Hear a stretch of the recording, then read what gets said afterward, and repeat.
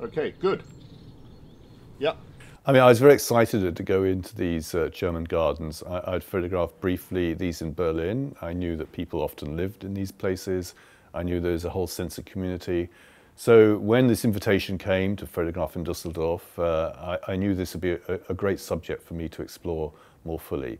Uh, we chose the perfect time of year, just when all the fruits and the tomatoes were ripening, and so people had these displays, and they're very proud of this.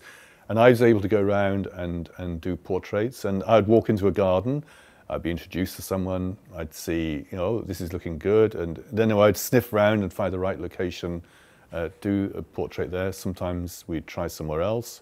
And then I'd skirt around and do some still lives. So my job, I think, was to try and show the sort of dignity, the fact that they're proud of these gardens. You know, it's all to do with human emotion. You know, it's, it's all to do with the fact that people have made a lot of effort, and I respond to people and their effort.